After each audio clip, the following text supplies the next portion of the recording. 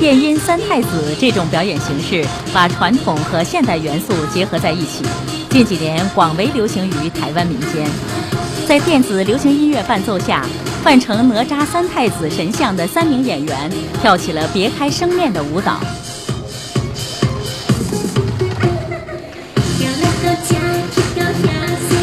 胡锦涛称赞这种表演形式很有特色，他表示，随着两岸文化交流的深入。这种表演形式也传到了大陆，相信会得到大陆同胞的喜爱。随后，胡锦涛步入人民大会堂西大厅，同参加两岸万名青年大交流主题联欢活动的代表亲切握手、合影留念。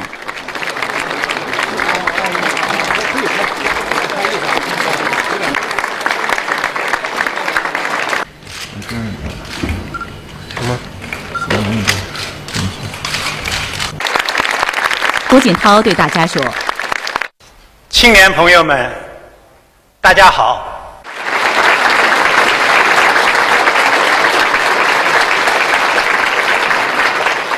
很高兴和大家在这里相聚。来到你们的中间，就比你们身上青春的气息所感染、所打动。”我也感觉年轻了不少。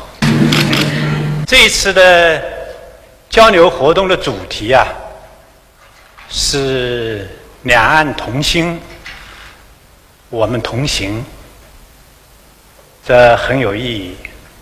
台湾的青年朋友们来到大陆走一走、看一看，相信啊会有不少的收获，也会深切的感受到啊。大陆和台湾。